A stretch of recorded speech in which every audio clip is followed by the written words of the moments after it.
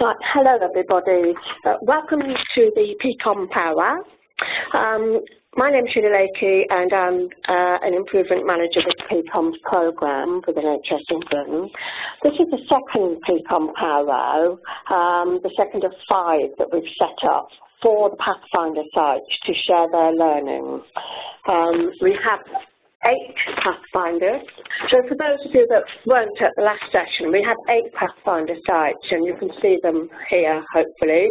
Um, we have Great Ormond Street uh, doing a project around PCOMs um, for psychological interventions uh, for children.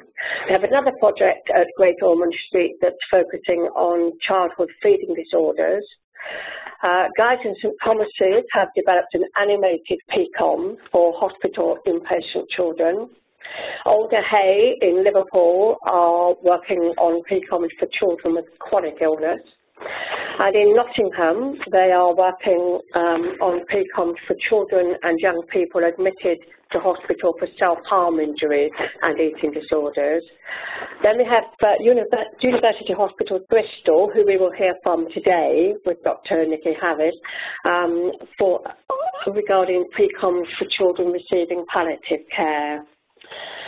Then there's the north of England, CSU, which is looking at young people and families living with asthma.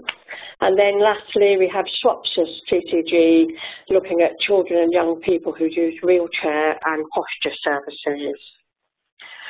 So now today we were hoping to have Daniela Hurst from Great Ormond Street talking about their work, uh, but unfortunately she isn't able to join us today. Um, but we do have Dr Harris from the west of England. Um, and also our expert speaker is Zoe Porter, who is the National Delivery Lead for Integrated Personal Commissioning um, within NHS England. We'll hear both presentations first, and um, then there'll be an opportunity for you to ask any questions that you have. So here's hoping to a really good, uh, stimulating discussion. Okay, so let's begin. Um, Nikki, I'm going to hand over to you. Thank you for inviting me to talk to you today about patient-centered outcome measures for children and young people with palliative care needs. When I first became interested in this sort of work, I was medical director of our local children's hospice. And when I started there, one of the issues that we had was how do we know if anything that we're doing is getting it right for the people that we're trying to help? How do we know we're making a difference? How do we know we've made a good job? And um, we thought about this, for, hang on, let me just get on to my next slide. We thought about this for some time, and in a way, if you're thinking about the outcomes for palliative care, the thing to think about is quality of life. But actually, the devil's in the detail with that because how do you define it and how do you measure it? And the nature of the challenge becomes more obvious when you then start to unpick what's involved. So that on an individual patient level, you're looking at multiple comorbidities and often accumulating more of them over time as death is approaching. And when you're looking in the sort of over a longer term, you'll have a deteriorating baseline of health very often so that what might be an acceptable outcome now would have been unthinkably unacceptable perhaps a few weeks or months ago. Um, and there's a changing perception of a new normal. So how do you then have outcome measurement that fits with such a flexible um, set of um, expectations? We also wanted to be able to incorporate the holistic nature of palliative care, so bringing in aspects of physical, emotional, psychological, spiritual, and so on, all of those dimensions, and wanted to be able to do that in a way that followed the patient because the children and families that we look after don't spend all their time in a hospice. They have lives to live, and if you're really looking at their quality of life, it has to work uh, or has to be improved wherever they are, not just when they're in the hospice. The other thing is that children don't come to us in single units.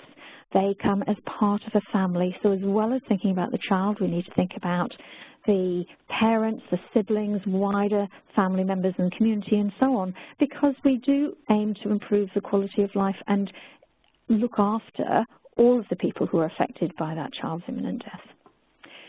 when we talked about outcome measures with some of our fellow providers, we had great interest from them in terms of they would like to know that they're making a difference. But actually for each provider, they very often had relatively small numbers of children or families involved and a very diverse population. So you're not comparing like with like very often.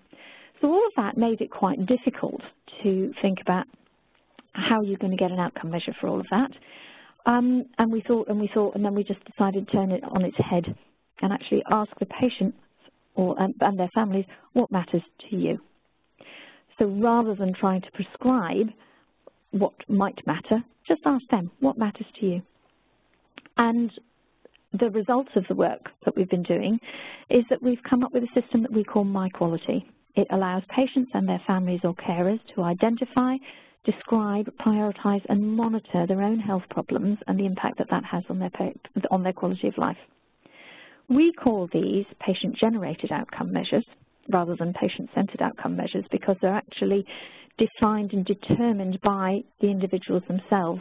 But there is some discussion at the moment about the best um, wording for this because we have PCOMs, PGOMs, PDOMs, etc. But the concept is that these are patient-generated outcome measures.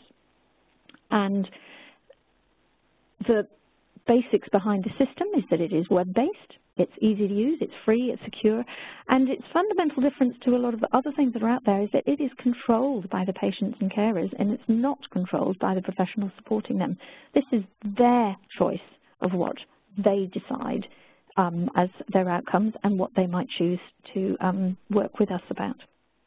Because it's web-based, it has the advantages of modern technology, so it can be highly interactive. People can use it in a personal way um, uh, and can personalize it and use it, for instance, with a free text bit and use it as a daily diary. There is real-time input, I'll show you some pictures in a minute, so that you can look at longitudinal change and you can analyze the interactions between causative factors, the cumulative symptom burden and so on. We've also incorporated a social media model of communication between the individuals and their chosen professional support teams so that much like with Facebook, if they decide they want to share some information with you, that's fine, otherwise they can cut you off. It is truly patient controlled. This is what it looks like. The basics are that anywhere where you can get internet access on a smartphone or a tablet or whatever, you can get you can log onto this system and it's free for personal users and for their health and social care professionals. The picture that you can see on the right-hand side of this screen is the instruction sheet that we give to families, and essentially we talk about five steps. And it all starts with a conversation, step number one, thinking about identifying your priorities. And when we're thinking about quality of life, we ask people to consider what is it that stops me or our family from doing what we'd like to do today? What is it that we can work together to improve that will have a positive impact on quality of life? And it might be that these are physical symptoms. It might be something to do with the emotional and social impact of, of illness. But the most important thing for both of these is this section called Make Your Own because it allows people to put in free text and to make this personal for them. Once people have identified their priorities, we ask them to describe what that means to them. There's a default position of a Likert scale, but people can use free text again to make this personal and relevant so that this example on the right-hand side shows the input from a family whose um, little boy had cerebral palsy and they've shown descriptions of how they know he has a day when he is free of pain versus when it's absolutely terrible. And in fact, this process gives great insight to what's the best that people can imagine things would be and what's the worst that they can imagine things would be and where is normal for them. So it's actually a very productive exercise, even if they only get this far in the system because the conversations that you are having are helping to, to improve understanding, manage expectation, um, and you can work together to work out really where a family is with this journey as their child is deteriorating and potentially will die. On a day-to-day -day basis, you, um, having set up your priorities, you use the slidey scales and you just move the numbers across. The, like the um, faces change and this print here represents what was put on your scale on the on the previous slide. As you put that in, there's also a daily diary section at the bottom, and then in real time, um, you will get a graph showing changes over time. The diary notes appear on the side, um, and you can then play around with that to look for associations, longitudinal change, and so on. And then you can decide as an individual whether you wish to share your information or keep it completely private. And you can, and many do, keep it completely private and choose not to share with healthcare or social care professionals. Others choose to share with some of the professionals who are registered on the system and they can log in and see the graphs and the daily diary comments, but they cannot change any information there. It's the, remember, the control is with the individual user. And then as part of this outcome measures project, we've also introduced another tier, which allows anonymized uh, data collection. So in this example from a dietitian's, for instance, so that they can see the feedback from a variety of users. So who uses it and why? Well, this isn't a brand new concept. We've been working on this since 2011 at the Children's Hospice. Um, and when we last looked at our numbers, we had 256 registered users, approximately two-thirds personal users and one-third practitioner. Our longest user has been having almost daily input for more than, well, it's about two and a half years now. The families who use this within our children's hospice service, because of the catchment that we serve, tend to be parents of children who have severe neurodisability. So in practice, it has been the parents putting things in rather than the children themselves because of the nature of the conditions that we look after. We did, however, feel that that wasn't so different from when we'd see people in clinics and so on because we would be talking to the parents about their children. So um, we feel that this is a valid way to use this information within a consultation setting. We do, however, recognise that it doesn't directly collect information from the children themselves within the context of, our, of its use within a children's hospice. In 2013-14, we had funding from the Health Foundation to do a formal evaluation, and I'm not going to go through all of that today, um, but if you're interested, the work has been accepted for publication in archives and will be out shortly. However, there are a few highlighted uh, results that I would like to share with you. We invited 33 families to take part, 32 took us up on the offer. That's a group of 32 families, identified 114 priorities between them, usually two or three, but in one case up to 15 separate parameters that they were recording. And that family did record things on a daily basis for more than a month. But as I say, mostly it was two or three parameters each. And given our neurodisability population, the most common were seizures and then constipation or pain or sleep problems. Now, when we were doing our work with the PCOMS uh, project, we did a number of focus groups about using this process as an outcome measurement rather than as an individual symptomatic symptom tracker, essentially. And one of the fathers said, well, there you go, there's your outcome measures. You've got seizures, constipation, pain, sleep problems, tick, done, there you go. Set up your scales and Bob's your uncle. And the woman next to him said, my daughter hasn't got seizures. I would not fill in something like that. I don't want to be reminded that she doesn't have seizures. I don't want to feel guilty. I don't want the results to be skewed. And it comes back to the issues about if you want an outcome measure that people will use, it has got to be relevant and meaningful to them. Otherwise, it becomes at best a chore and perhaps an insult. This sentiment was backed up when we looked at the um, web use habits of people who used the website in our early study. And although, remember we had those drop-down lists of all the priorities, well actually in a third of them, people were modifying those with free text to make them relevant to them. And the scales were personalised in more than half of the cases. So I think one of the lessons we learned from that is if you're going to do outcome measurement that depends on individuals putting those in, it has got to be meaningful and relevant and sensitive to their needs. And if we get that wrong, we're not going to get the outcome measurements that will help clinical care. This is a picture. It's difficult to read on this screen, I take it, but this sums up the feedback that we had from the people within our hospice study about what they liked about My Quality system. And there were four main areas. The first was that it was user-friendly. They liked the fact that it was quick and easy. They could do it faster than the adverts on the telly, and it stopped them doing other things, such as keeping scraps of paper in an A4 book and then trying to work out what happened before. So it makes their lives easier, and actually, from a medical point of view, when you can get at that information, it made my life easier too. They found it empowering. They said they felt safer, they felt more confident, they had a greater understanding of what was going on.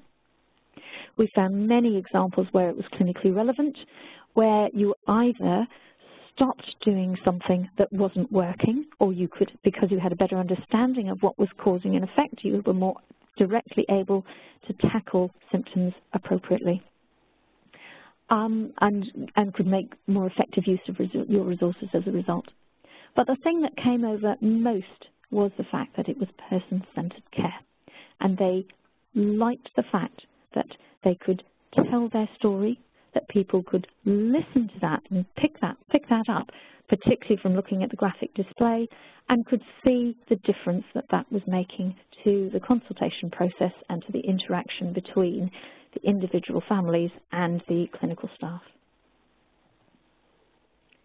So just to wrap those um, that study up in general, we found that with our interviews with patients and families that they had a greater understanding of the needs and priorities for care, that they felt empowered, and this wasn't just their language. We confirmed this with family empowerment scales, which did increase um, across all the domains that were being measured in terms of both caring for their child as an individual, but also their role with clinicians and the role as members of, of as proactive members of the community. There was an improved safety through better sharing of information and there was more timely provision of support when children and families were struggling because the system will generate email alerts to professionals if some of the symptom parameters, for instance, go above preset levels. They liked the fact that they could use it in any location. And in fact, of our 32 families, there were some who stopped using it early, and most of the time it was because the hardest place to use this was in hospital, because very often there are there's poor telephone signal or Wi-Fi black holes, and they couldn't use it, and then they got out of the habit. But the remainder of them who were being remaining either at home or in a hospice where they had more of their normal routine, continued to use this for well beyond the three-month period of our initial study. So they liked the fact they could use it anywhere, and they liked the fact that they could bring in all key providers um, to view their data if they felt that that was relevant. We didn't do a formal assessment of benefit of providers, but from our discussions with them informally in the early study and then through this PCOM work, providers clearly want to have a greater understanding of their needs and of the patient's needs and priorities. And when working with empowered patients and carers, they could see the impact that that would have on collaborative decision making. They like the fact that interventions can be safer, that there's timely provision of support, and can also see the potential for more efficient use of resources and to use the information provided to improve the evidence base of the effective interventions for um, children's palliative care. And we must admit, it, what we currently do does have a rather weak evidence base in, um, in many aspects, and we would like to improve that. Both of those bottom two are areas for work in the future.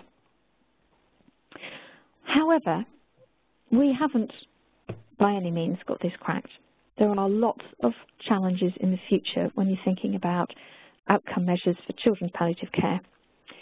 When we're thinking about introducing my quality, we need to recognise it's not a passive process. Both for the patient and family users and for the practitioners who are using it, they need to develop new ways of working and new ways of working together. And although the families have taken this on board rather more easily than the practitioners, if the practitioners don't endorse this, then actually for the families trying to tell their story, it's like they may as well be talking to a blank wall. I do recognise, though, that in a time of an NHS which is under great challenge and has had a lot of change, that asking people to do something in a new way is quite difficult.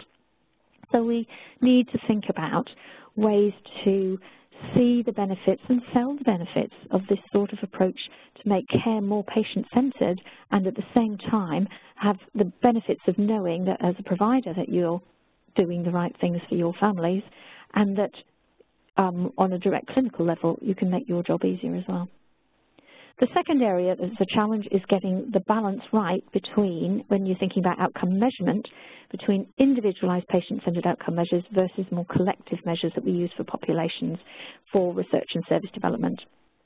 And we wanted to be, very much protect the patient-centred, patient-controlled ethos of what we're doing. And it may be that the way to get that balance right is to come away from the concept of outcome measures being outcomes of symptoms, but thinking about the process that's involved.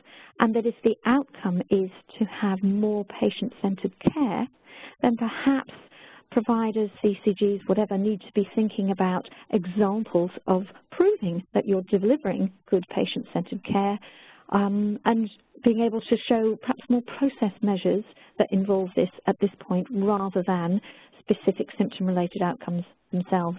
This is an area which I'm sure there will be further debate about, but getting that balance right between the individualised versus the collective outcome measure is key. And I think particularly for our example, if you have patient-generated outcome measures, if you don't get it right for the individuals, they won't be generating you any data anyway. So you may as well um, not bother. If we if we get this right for families, for patients and families to use, we can then use their data to improve patient care in the longer term. And the third area is that we've been talking about this from a health perspective, but of course if you're really thinking in a patient-centred way, they have multiple providers who need to work together to improve outcomes for each child and family. And we haven't really begun to think about how we roll this out in other dimensions of supportive care, but that's a very important area to think about for the future. So I've given you plenty to think about, and I would be happy to answer questions later on in this debate, but at this point I will stop there and hand the ball back to Sheila um, as we will continue. Thank you for listening. Thank you, Nikki. A really good example there. Um, and also of asking patients what matter to them instead of describing what might matter to them. I thought was another really good point. Um, some really interesting challenges raised there um, and lots of food for thought for people to think about. Right, so I'm going to move on now and um, hand over to Zoe so that we can hear about the Integrated Personal Commissioning Programme. So thank you, that was really interesting and I think what I'm about to talk about is, is different in a number of significant ways but has at its core that same question, what matters to you alongside what is the matter with you and um, the idea of, of trying then to um, improve our health and care system so that we can um, respond better to that and, and, provide better support for people and, and, therefore better outcomes. So I'm going to talk for um, a short while about integrated personal commissioning. I'll do a little little bit of background and then I'll, I'll get into the what is it, who's it for, who's doing it, um, and, and, a little bit about where we're up to, and, and then I'd be really interested to have a, a kind of conversation to, uh, to any kind of queries or comments that, that you have. So um, I don't think it says on this slide, but my name is Zoe Porter. My job is to organise um, delivery support for this integrated personal commissioning programme, which is essentially a demonstrator programme plus for personal health budgets across the country. So we're supporting the NHS to, to introduce them in, in uh, particular areas at the moment. Um, so I'll start with um, kind of what's the problem we're trying to solve, and I think there's, there's multiple problems that we're trying to solve, but from the NHS's point of view, um, we know that there are an increasing number of people who are living every day with, with long-term conditions and also increasingly people living with a, a complexity in their lives around multiple long-term conditions.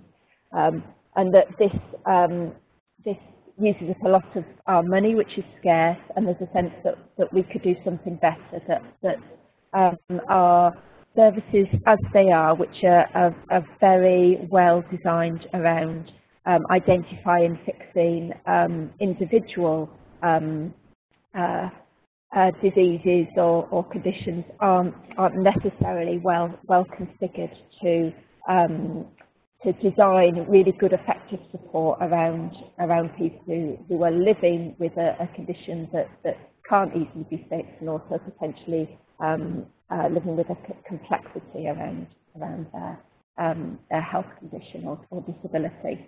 So this is provides us an opportunity with, with thinking a bit differently and, and trying some different ways of working. And, and, and from a point of view of integrated personal commissioning, some, some of the new ways that we're, we're seeking to, um, to, to kind of start this new way um, of working are, are based on um, uh, a number of different kind of ideas that have a lot in common. So the social model of disability, which has been around for, I think 30 or 40 years, around seeing people, um, disabled people, not as um, conditions to be fixed, but as, as, as people who are, are, trying to live the same, same lives we're all trying to live, um, and where there's barriers um, that, that, that are around them that the society puts in their way that, that we can help people overcome in order to live a good life. Around um, co-production, around real, genuinely working with people as uh, um, people who use our services as, as people have something to offer themselves where we can co-design and potentially co-produce and deliver um, better um, solutions to, to, some of the, the, challenges in their life. Um, personalisation and self-directed support, which has been a, a, kind of response of the social care system um, around, around these challenges, which is around the um, uh, putting people at the centre of planning processes and giving them more control over the, the support. And then also coming up through health, a greater focus on supporting people themselves to um, understand, get confident and, and manage their um, and manage their day-to-day -day, um, health conditions and equipping them with the, the, tools and the, the confidence that they might need to do that. So, so, uh, so these are some of the ideas that are playing into um, playing into uh, integrated personal commissioning. And, and you'll know that um, there, are, there are so many um, new initiatives at the moment, vanguards and new models of care and so on. And I think one of the things that's um, particular to integrated personal commissioning is that we're looking at the, the same um, the same kind of problem and, and trying to reach some of the same solutions, but rather than starting with a reconfiguration of, of systems we're starting with a different relationship with people themselves and um, a partnership with them that, that enables us to kind of build upward um, a new system of support and care. Doesn't mean that there won't that won't entail um, money being spent differently and, and, services and systems looking different, but we're starting um, with people um, themselves as, as uh, the building block of, of some of that um, change.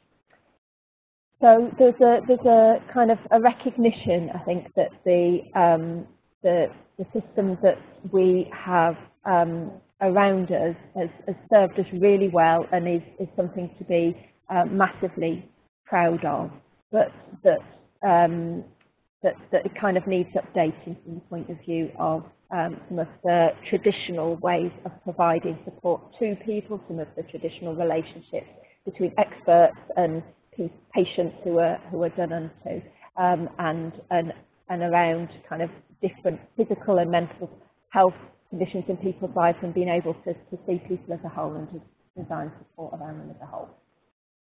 So, uh, coming to, to, what we're actually talking about, so integrated personal commissioning was announced um, last year by Simon Stevens at a, a, local government association conference as an initiative across health and social care that would put people in the driving seat of being able to um, uh, design the support that they might want.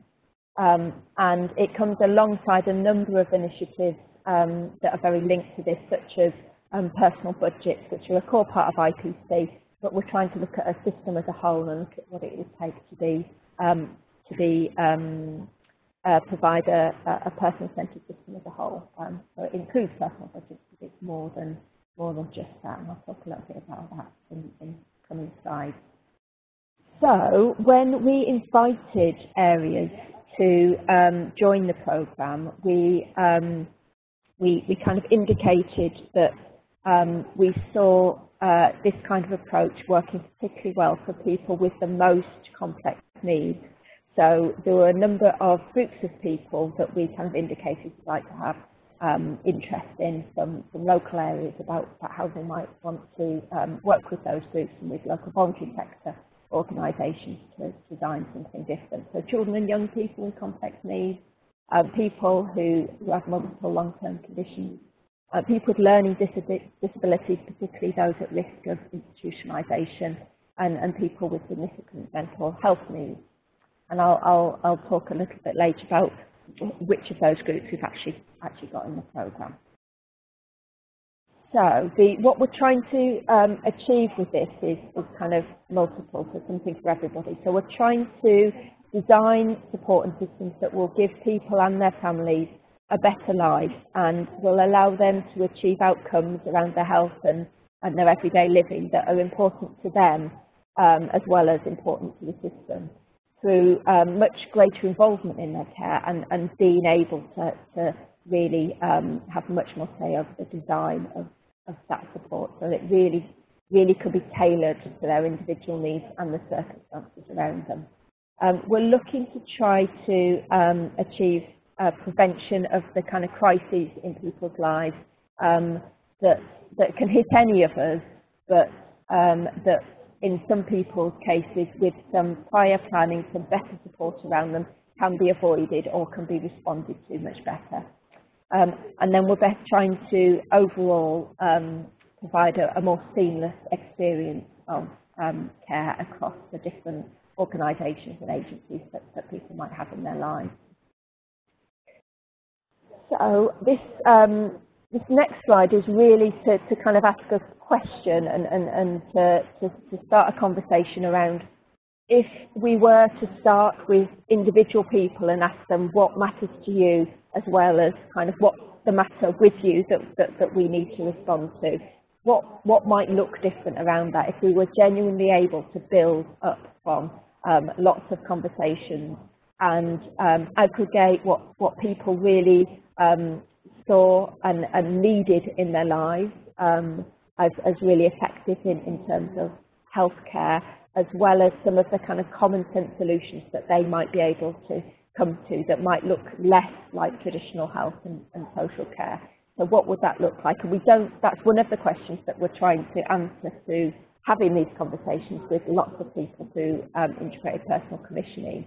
Um, we have a little bit of insight into what that might look like for different groups of people. So, say, for example, in Northamptonshire, as part of the Personal Health Budget pilot programme, they sat down with people who were using um, a lot of mental health um, services and looked at all those different services, the different interactions they had with um, different clinicians, plus maybe social care support, and and had a, a conversation between the person um, on the receiving end of that and um, a clinician who knew them well, an open, honest conversation around, okay, well, well, that stuff's important. That's to keep you safe. That's what that's what we need, um, and I think we need to agree that that that stuff stays, stays the same. Those particular interactions with um, clinicians. But are there some areas that we think actually we're, we're not achieving what we want to be with that? So if your CPN is coming around to your house every fortnight, um, they, they're, they're having a cup of tea and they're having a chat with you. Um, but, but is there something, are there any interactions that you're having with the health and social care system at the minute that if the resource for that was used differently, you could do something different? And um, for kind of relatively small groups of people, so they're, they're just into kind of their tens, the kind of um, decisions that, that people make through that conversation usually freed up a, a proportion of that support, so um, less than a third of it, and deployed it into much more um, holistic ways of, of supporting them. So things like people um, uh, who were struggling uh, when their mental health got particularly bad with, with thoughts that, that then kept them awake all night and, and spiraled into um, spiraled into um, them getting iller and iller. Um, so one guy called Ricky um, bought a cinema, a cinema kind of season ticket that meant he could go anytime he wanted. and, and just being able to take that control at that time, go and sit in front of something that took his mind off those thoughts. Um, he said he saw every single film that there was and, and, and seen all the good, bad and the ugly of, of everything that, that Hollywood has produced. But it, it just was a solution that he came to that turned out to really work for him. It might not have done. Um, wasn't expensive, um, uh, you know, less than 100 quid a, a year, I think. But as part of his overall care plan meant that he needed less input from other people and also meant that he was able to manage his mental health and use less use of crisis services. So these kind of solutions and this balance of traditional support versus um, something that might look a little bit different will be different in everybody's case. But how do we take that, um, uh, how do we have those conversations with people so that we can start to build up uh, um, health and social care support for, for people with really complex needs that um, that, that's really effective for them and, and make the most of the, the scarce resources that there are. So, clicking on. So, for integrated personal commissioning, we've been going now since April in terms of sites being live, and we're kind of um, it's, it's a quite a difficult. Um, it, it, it was trying to do so much across a whole system, and I think it's taken us um, quite a while to um, be, be able to get our heads around the, the, the kind of one, the, the kind of model, what it looks like, how you can chunk it up to start to make something different happen. So the, um, the, the, the, way that we're, we're sort of conceptualizing it at the moment across the site is, is um, written up in this arrow here. Um, so what sites are trying to do is they're looking at their cohort of people, and I've, I've got a later slide that tells you who, who the different cohorts are, um, and looking at um, spend across um, all of the health and social care interactions for those individual people. Well, that's what they're trying to do. So anybody who's ever been involved in trying to um, get person uh, level data and, and, connect it across health and social care will, will know that that's not a quick task. But what they're trying to do is really understand across the whole system, so all the health um, support that people might get in social care, who's who's using what, what does that look like, how much they're they using crisis services and A&E, and, and how much uh, are we spending in different areas, in order to, to kind of start to try to identify the right people where we could do something better for them, um, plus also have a conversation, so, so be able to approach people where we think there's potential to do something better. Um, we're also building on a, a whole raft of uh, community and peer support um, approaches in order to there's, there's, a, there's a real focus on investing in those in order to be able to um, connect people up with, with low-level support and support from other people, like-minded people, that can really help get them um, connected back into their communities where they've become isolated and build up their kind of social capital and also connected into um, places where they might get more support around managing their day-to-day -day lives and the day-to-day -day conditions. And we have a care planning conversation with people that, that um, it does genuinely start with um, what's important to you as well as, as, well as what's important um, for you in terms of your health. So it begins to look at, um, uh, explore with people their lives, what's really important, what's really happened for them, what's worked, what, what isn't working for them at the moment, and start to think differently about what might be possible. Then comes the potential, either individually or I guess aggregated for lots of people, where you start to, to hear what, what would work better for people, of um, a, a change in where the resources start to go.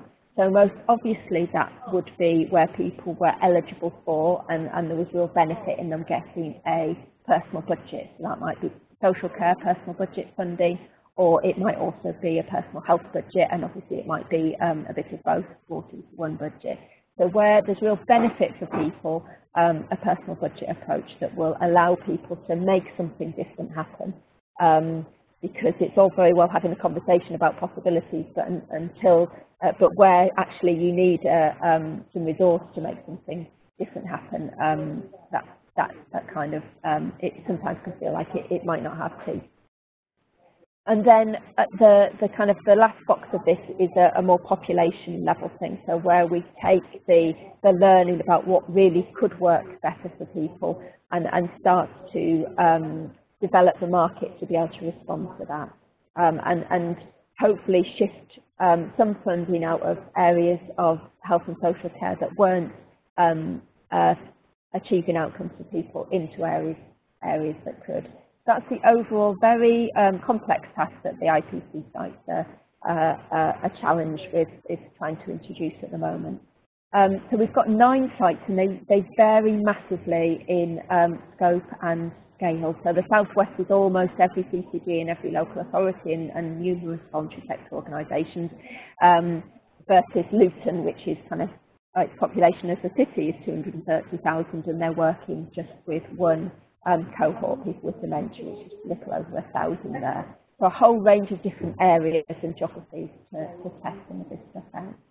Um, so here you can see where we ended up with. Um, these are some of the first groups of people that people will be working with. Some of them will then move on to an, another cohort of people in the second and third year. Um, and we have um, uh, so we have a, bit of a range across those areas that we're hoping to get bids in from. Where we're a little bit weaker beyond people with dementia um, is um, people using mental health services. I think we'd like to kind of come back to that later. That they are included within some of these groups, but it's not a strong, a stronger focus of this program that it, as it could have been.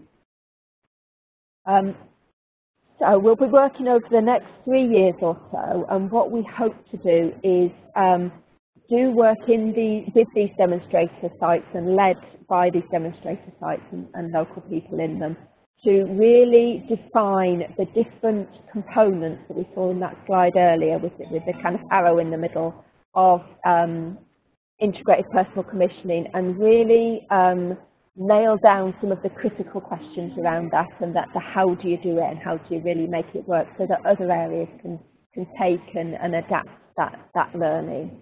So we, we are tasked with developing a number of standard replicable models and um, as, as far as we can, we, we will be trying to do that across the programme.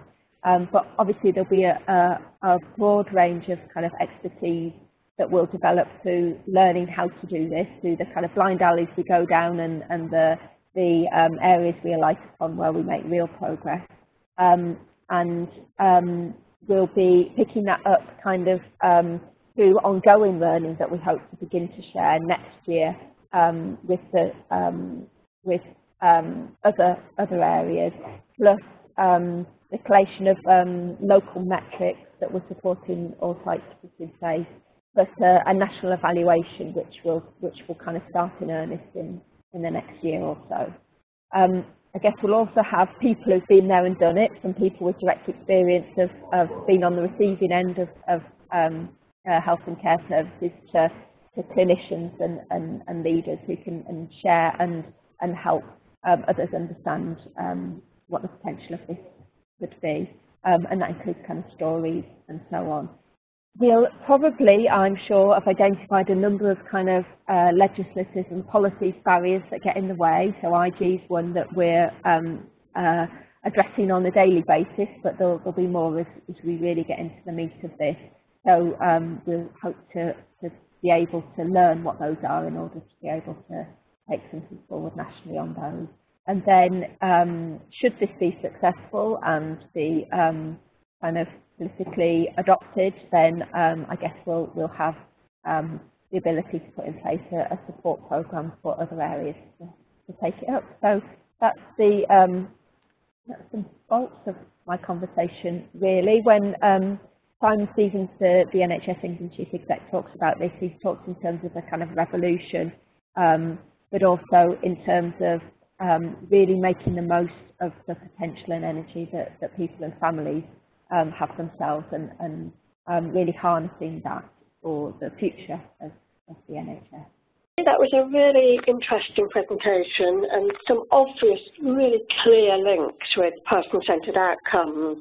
Um, I really like the poster. I think that's fantastic.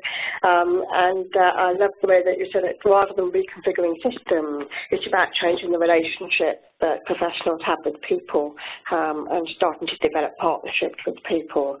So it's really great, thank you. So we have about 10 minutes left now um, for questions. Um, I can see that we have one question in the chat box at the moment um, from Fliss. Uh, yes, so um, I think the role of advocacy in integrated personal commissioning would particularly um, probably be helpful for, for everybody that we're working with. We've got um, one of the challenges we set ourselves is to design a system that that works for everybody and um, that, that isn't um, just reliant on people coming into the system with an ability to be articulate and to um, and to kind of take control. So we're doing that through a, a number of ways, and one of the key ones is a really strong um, partnership with the voluntary sector in, in every site. So um, particularly for um, some of our cohorts, so people with learning disabilities um, and um, you know people with dementia, there are um, user-led organisations, also local organisations like Age UK and Alzheimer's Society and so on, um, working really strongly alongside the programme to co-design the programme so it works for everybody, but also to think through what support will people need, whether that's advocacy support or, um, or, or whatever it takes when people don't have people around them who can who can play that role naturally for them. So it'll be an important part of the, the, the design of, of this um, uh, for people, I think, definitely. Thank you. So does anyone else have any more questions? Either for Nikki or Zoe? Yeah, I've got a question. Um, I was very interested in the IPC presentation, um, particularly some of the examples on that lovely poster. For instance, you know, that if I go to regular yoga, I will have less anxiety and therefore I will see less of my doctor. What I wasn't clear about is how much evidence is there at the moment or how are you collecting evidence for the future that those will necessarily follow in turn, that, for instance, resource use will go down um, with some of these interventions. I was interested to know how you're going to approach that aspect of um, the implementation of um, IPC. Yeah, excellent question. So um, the, the actual poster I nicked from um, the personal health budget pilot at the end, these were some of the, the kind of the uses of personal health budgets that people had made. Now, clearly, um, what automatically gets picked up and, and, is particularly highlighted in the picture are the sort of the more alternative and the more non-conventional ways that people uh, choose. Um, I think, and, and, the personal health budget pilot program showed overall that people um, made less use of unplanned healthcare services and were in hospital slightly less than, than the control groups that ran alongside it. So overall, the approach of people um, uh, having more say over over what um, they use to keep them well um, was kind of shown to work. But that doesn't mean that individual interventions always do. So at an individual level, it's it's usually a decision made and signed off by a health professional. So people that, that there's usually a kind of um, a conversation around okay, well, there might not be a load of randomized control trial evidence on that one, but between us and understanding your situation and understanding your circumstances, we, we can agree um, as a, or I can agree as a health professional that that's worth a go and certainly it's better than, it might provide better outcomes than there are at the moment. And then across the programme we'll be if, if when we manage to, if if, it's when we manage to actually um, create these patient-linked data sets, we'll be able to track people's use of, um, of, of, health and social care services. So we'll be able to see if um, an intervention, a different kind of uh, approach to somebody's healthcare did result in them pitching up at the, the GP less. Um, and we'll also be um, having other kind of metrics in place to, to measure people's outcomes. And then there should be, and it's just being designed at the moment, uh, a kind of a robust, more traditional evaluation that should um, look overall at, at, some of these questions and, and kind of track people. Um, so I think we're, we're trying to, we're always kind of mindful of the individual decisions um, that might make sense for people, and then the overall approach of giving people choice and control, and whether that um, mm. and whether that actually does is better value for resource and does and does overall have the outcomes for people. Mm. Hope that makes some sense. Yes, it does. Thank you. Because essentially there is a bit of a, um, a, a tension, almost in a way, between the personalised um, care, the self-management agenda, the participant patients that we talk about, and respecting the fact that people tend to have expertise in their own lives and healthcare and whatever, versus the need for an evidence-based healthcare and all the difficult decisions that have to be made because it's um yeah no absolutely. It's a really live debate. It's live all over twitter and all over social media. Um and i i guess um some of the, the kind of stuff that hits the headlines. So we hit the headlines with personal health budgets um, in September, didn't we, with pictures of uh, pedalos and um, summer mm. houses everywhere. Um, weren't overly helpful in that debate as they polarised it a lot. But but a lot of what people choose is is quite common sense. So that so the summer house, I'm fairly sure I don't have the details of that person, but I'm fairly sure it won't have been a, a a kind of gazebo in someone's garden. It would have been a family with um, a young person with very complex needs um, and, you know, quite often um, autism and so on that mm. needed a quiet space for that person to go or or for some time out or to do some stuff away from the, the noisy environment. And, and that would have been the conversation um, that would have led to the agreement of, of some of their um, care package money being spent on, on, on something like that um, as opposed to the person ending up in residential care because the family couldn't cope. So it's it's um, it, it's kind of approaching this from an individual point of view and making sure that there's nothing harmful or there's no evidence that a certain approach would be detrimental to people. And then where things aren't working and people are at risk of um, their um, family or community situation breaking down, kind of taking a little bit of a uh, an approach that says maybe we don't seem to be doing awful well, awfully well at the moment. The approaches don't seem to be effective at the moment. What can we try that might be different, uh, different where there might not be the, the same level of evidence, but um, but but kind of as a as a health professional, uh, we we might agree that, that something different would be worth a worth a try. But it is, it, I'm sure it'll continue to be a, a very active area for the debate, and, and, and so it should be um, if, if we're using NHS funding. Thank you. Thanks, Zoe. Um, there's another question from Fliss for Nikki, um, and uh, she is asking if it's possible to aggregate data from my quality into cohort or population level data, um, or is it not possible because it's too personalised?